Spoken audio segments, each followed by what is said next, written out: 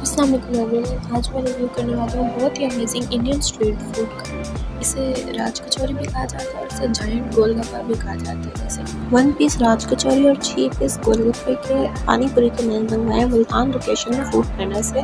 तो ये कहाँ से लिए फ़ूड करना किस शॉप से लिए हैं और इनकी प्राइस क्या और टेस्ट कैसा था, ये जानने के लिए वीडियो को एंड तक देखिए। चैनल पर नहीं है तो चैनल को सब्सक्राइब कीजिए और वीडियो को लाइक कीजिए। चलते हैं वीडियो की तरफ़। सबसे पहले ये आप देख रहे हैं कि छः पीस गोलगप्पे की गोलगप्पे का जो साइज़ था वो काफ़ी बड़ा था और राज कचौरी इस एक्चुअली जॉइंट गोलगप्पा और ये सब, ये ग्रीन चटनी थी जो हमें राज कचौरी के साथ मिली थी, ये मीठी चटनी थी, आलू खाने वाली ये थी सिंपल जो मसाले वाली चटनी होती है, वो थी और ये हमारी सिंपल पुदीना और हरे धनी की चटनी थी और ये केचप था, साथ और मिला था आलू और चिकपीस का मसाला। साथ उन्होंने निमकों के पैकेट्स दिए थे दो। तो सबसे पहले हम देखते हैं कि पानी पूरी पानी पूरी के साथ हमें मिले थे चने। इनफ क्वांटिटी थी छः पीस पानी पूरी के लिए और साथ में मिला था खट्टा पानी। खट्टा पानी जो था वो इतना ज़्यादा खट्टा नहीं था बट ओके था। सम हाउ तो पानी पूरी लुक्स में ओके ओके लग रही है तो पानी पूरी बना के साइड पे रखते हैं अब हम बनाते हैं अपनी राज कचौरी। राज कचौरी में सबसे पहले हमने होल कर दिया और इसके साथ जो हमें आलू और चने का मसाला मिला था, वो हमने इसके अंदर कम्प्लीटली फिल कर दिया। ये मसाला बहुत ही ज़्यादा टेस्टी था। तो गोलगप्पे को हमने कम्प्लीटली इसी मसाले से फिल कर दिया है। उसके बाद हम इसके अंदर चटनियों की फिलिंग करेंगे तो सबसे पहली चटनी हमने इसके अंदर डाली थी, जो हमें सिंपल मिसाले वाली चटनी मिलती है, जो हमें नॉर्मली दही भले के साथ मिलती है, वो वाली चटनी थी तो वो हमने इसके ऊपर डाल दी थी, बताओ। इस चटनी को हमने कम्प्लीटली इसके ऊपर डाल दिया था, फिर भी इसकी क्वान्टिटी इतनी ज़्यादा थी कि ये बच गई थी, इसको हमने साइड पर रख दिया था। सेकेंडली इसके अंदर हमने डाली थी दही दही सिंपली फैटी हुई नमक के साथ थी। दही को हमने इसके ऊपर हल्का हल्का सा डाल दिया था, क्योंकि ऑलरेडी हमने चटनी इसके अंदर ज़्यादा डाल दी थी।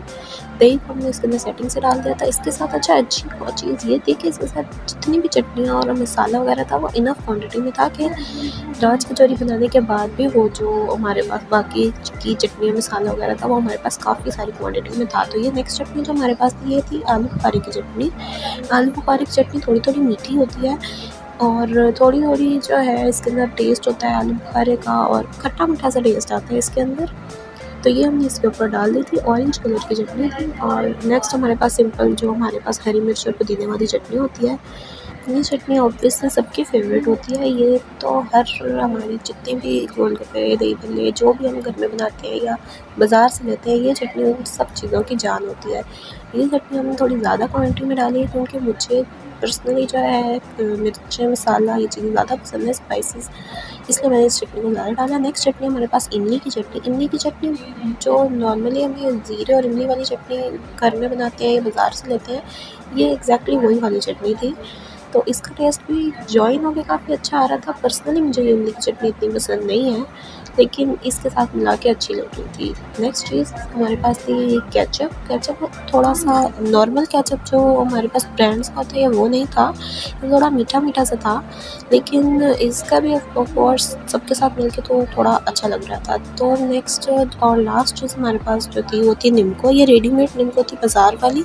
मोस्टली जो राज कचौरी के साथ सेव होती है वो घर की बनी हुई होती है या वो खुली सेव होती है? ये निम्को थी तो ये ओरिजिनल टेस्ट नहीं दे रही थी but that's okay fine fine तो अब हमारी राज कचौरी लुक्स में कितनी मज़ेदार लग रही है और ये हमारी पानी पूरी बनकर दोनों चीज़ें बिल्कुल रेडी हो गई हैं। ये हमारे पास एक्स्ट्रा चीज़ें थी जो हमारे पास इस कचौरी के साथ मतलब इनफ क्वांटिटी हमारे पास जो थी, वो थी, वो साइड पर रख दी थी हमने। तो ये दोनों चीज़ों की लुक्स थी और ये बहुत ही अमेजिंग लग रही है लुक और देखते में दिल कर रहा है कि बंदा फ़ौरन से खा जाए इसे। तो अब हम इसे टेस्ट करते हैं और बताते हैं कि इसका टेस्ट कैसा था। टेस्ट में राज कचौरी जो है, सबसे पहले इसकी क्रिस्पीनेस की बात कर क्योंकि मोस्टली कचौरी जो होती है, वो थोड़ी सोगी सोगी हो जाती है बट ये जो राज कचौरी थी, ये इतनी सारी चटनियाँ डलने के बाद भी क्रिस्पी थी और बहुत मज़ेदार थी और इसका जो पापड़ी थी, उसका टेस्ट भी बहुत अच्छा था। नेक्स्ट जो इसके ऊपर, जो वैरायटी ऑफ़ चटनी है और मसाला वगैरह था, इन सब का टेस्ट बहुत अमेजिंग लग रहा था।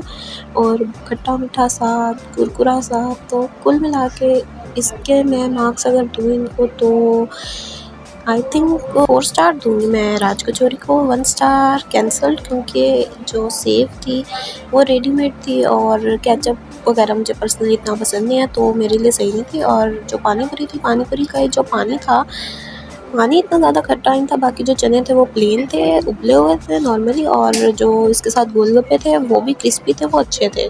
तो वो टोटल मिला के इतनी स्पाइसी नहीं थी और ये जो था, ये एक्स्ट्रा जो मेरे पास, जो राज कचौरी के साथ, हमारा जो मसाला बच गया था, उसको मैंने सबको ज्वाइन करके तो ये कुछ इस तरह नज़र आ रहा था तो ये बहुत मज़े का था। तो ये आप देख सकते हैं कि मैंने फ़ूड पैना फ़ूड पैना मुल्तान लोकेशन मैंने बाबा गोलगप्पे से मैंने ये राज कचौरी और पानी पूरी मंगाई थी, इसके प्राइसेस आप देख सकती हैं और अगर आप चाहें तो आप यहाँ से ऑर्डर भी कर सकती हैं। Thank you so much